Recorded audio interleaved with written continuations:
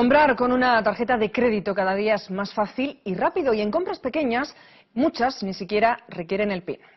Basta acercarlas al datáfono para hacer un pago de una forma muy sencilla. Sin embargo, esta tecnología tiene sus riesgos. Vea.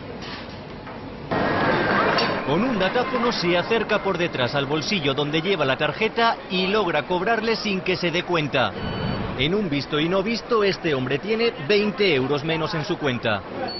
Ahora la mayoría de tarjetas no necesitan PIN. La tecnología puede facilitarnos la vida, pero también hace más vulnerable nuestro bolsillo. Que Europol señala como algo a tener en cuenta es la evolución de ataques contra la tecnología. Y esto es solo un pequeño ejemplo. Hay una aplicación para el móvil que es capaz de robarnos nuestros datos con solo acercar el teléfono a la tarjeta. O sea, hay un elemento que pregunta a la tarjeta a través de ondas la tarjeta se activa y pueden tener acceso a tus datos. Y cualquiera en un bar, una tienda o fíjense en el metro puede lograrlo. Nosotros hemos hecho la simulación.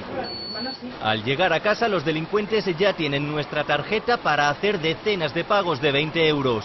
Pero hay trucos para evitar esta estafa. El más fácil y barato, envolver las tarjetas en el papel de aluminio de toda la vida.